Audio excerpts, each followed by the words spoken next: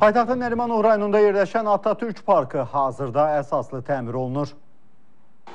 Bakı şəhər icra hakimiyyətinin sərəncamına uyğun olaraq Nərimanov rayonunda yerləşən Atatürk Parkında artıq bir neçə aydır ki, əsaslı təmir işləri həyata keçirilir.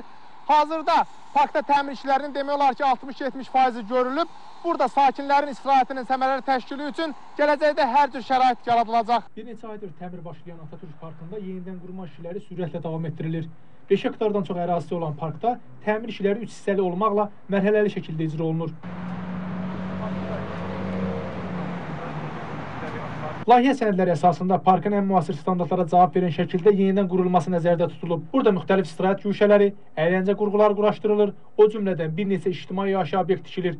Bundan başqa parkın ərazisində velosiped zolağı da salınıb. Buradakı yaşıl ağaclar qorunub saxlanılmaqla indiyə kimi xarici ölkələrdən gətirilmiş 3000-ə yaxın ağac və gül kolları əkilib. Parkın ərazisində 3050 kvadrat metr ot örtüyü salınıb. O cümlədən parkdakı ağacların budanması, cavanlaşdırılması işləri də görülür.